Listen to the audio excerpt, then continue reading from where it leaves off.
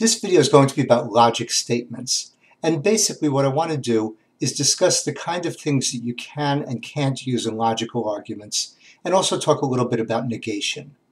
So here are some examples of valid statements for a logic argument.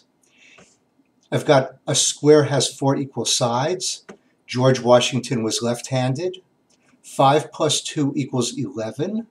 And Paris is the capital of France. Now, not all these statements are true. 5 plus 2 obviously does not equal 11. But the thing they have in common is we can determine whether each of the statements is true. There's no middle area. They're either true or they're not true. Okay, so we can say a square has four equal sides. That's a true statement. George Washington was left-handed. I don't know if he was left-handed, but we could find out. He, he either was left-handed or he wasn't left-handed.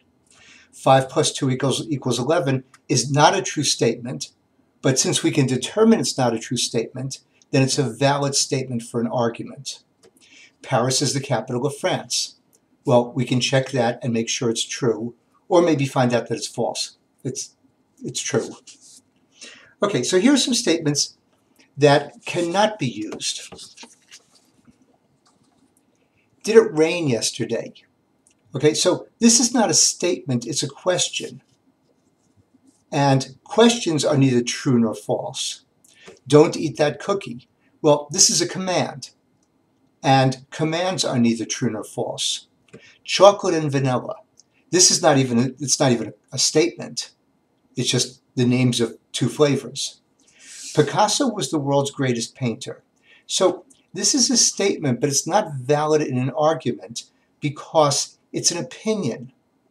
And whether whether one person thinks Picasso is the world's greatest painter doesn't make that person's opinion true or not. Okay? Now, here are a couple more that seem like they should be good until we um, go a little deeper into it. 5 plus x equals 17. The problem with that is we don't know what x is. So without any context, we can't determine whether this is a true statement or not. We have to be able to decide whether it's true, and we can't do that with this statement. He is my brother. This is also a statement with no context. We don't know who I'm talking about, so that person might be my brother or might not. Unless we can determine who I'm talking about, we can't have use this as a valid statement. Okay, so now we come to the issue of negated, negating statements. In other words, we want to take a statement and say that, no, the opposite is the case. Typically, we're going to use the word not. So if I have a statement like a square has four equal sides, I can just say a square does not have four equal sides. If I have George Washington was left-handed, all I have to do is say George Washington was not left-handed. 5 plus 12 equals 11. We negate that with 5 plus 12 does not equal 11. Same thing with Paris is the capital of France. I'm just going to say Paris is not the capital of France. The problem we have is when the statements contain some words like all or no or some or each or every, in which case we can't negate them as simply. If I have a statement like all roads lead to Rome, now this is a valid statement, but the negation of this would not be no roads lead to Rome.